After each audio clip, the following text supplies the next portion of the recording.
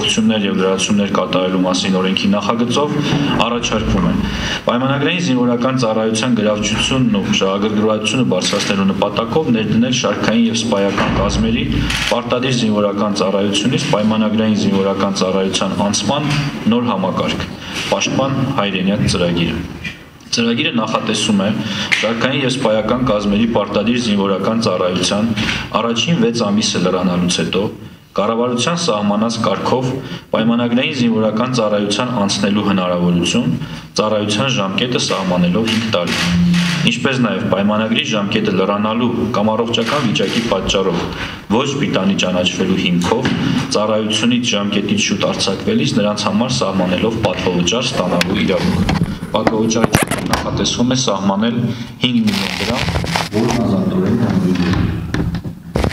Պայմանագիր կնքած զինծառայողները եւս ենթակա են լինելու ատեստավորման, օրենքով սահմանված կարգով եւ դրական արդյունքների դեպքում նրանց հաշվարկվելու է իրենց պաշտոնի խմբի համար նախատեսված հավելավճարը։ Միաժամանակ պայմանագրի գործողության ընթացքում պայմանագրային զինվորական ծառայությունից հրաժարվելու դեպքում պայմանագրային պայմանագրային զինծառայության ժամկետը չի հաշվարկվելու զինծառայողի պարտադիր զինվորական ծառայության ժամկետում եւ զինծառայողն ուղարկվելու է շարունակելու պարտադիր զինվորական ծառայության չծառայած մասը։ Ծրագրի ներդրմամբ նախատեսվում է դադարեցնել Պաշտպանության նախարարության կողմից նշված վայրում եւ պայմաններով շարքային կազմի պարտադիր զինվորական ծառայություն անցնելու ԵՍՄ ծրագիրը,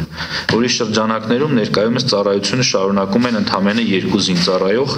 որոնց ծառայության 36-ամսյա ժամկետը ավարտվում է 2023 թվականի հունվարին։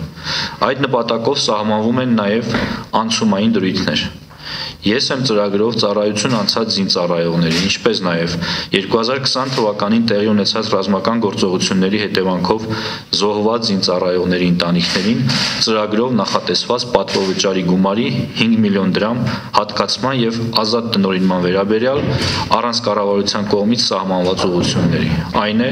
ուսման վարձի փոխհատուցման, բնակարանի հիպոթեկային վարկավորման ուղղելու, գյուղատնտեսական գործունեությամբ զբաղվելու ուղղություններ։ Խնդրում եմ հաստատել։